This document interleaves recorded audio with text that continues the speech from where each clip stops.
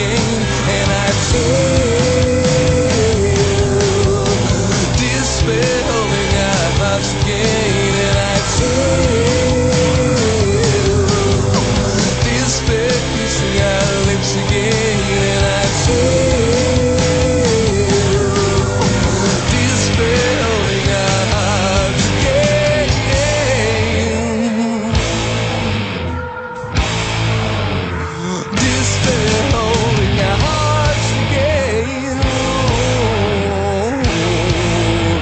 sky.